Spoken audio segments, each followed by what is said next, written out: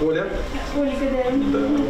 Как Это дела? подарок от моей старшей сестры. Давай сначала я тебе подарок. Давай тебя с Новым годом. Спасибо. Поздравляю. Теперь учись. У тебя там будет много возможностей всяких. Да. Ну, давай. Ну, что тут такое? Ух ты. Ничего себе, кто рисовал.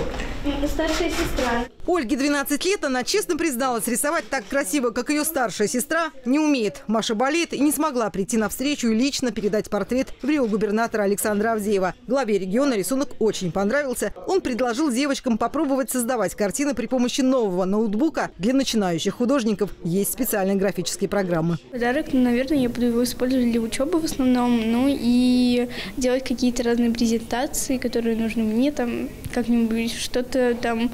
Я еще люблю в Word, там Word есть, в котором можно что-то печатать, там свои стихи. Сладости, фрукты и приятная беседа. За чашкой чая мама девочек рассказала главе региона об успехах дочерей. Оля вместе с сестрой Машей занимаются в студии современного танца. На конкурсах и концертах мама становится видеооператором, снимает все выступления любимых дочек. Много фотографий, много бывает видео. Как раз все это необходимо куда-то сохранять, архивировать. То есть будет у нас такой большой архив. Ноутбук пригодится школьницам и в случае перехода на дистанционное обучение. Раньше у девочек не было технической возможности слушать онлайн-уроки. Теперь эта проблема решена. Ирина Начарова, Екатерина Старикова и Андрей Беляков.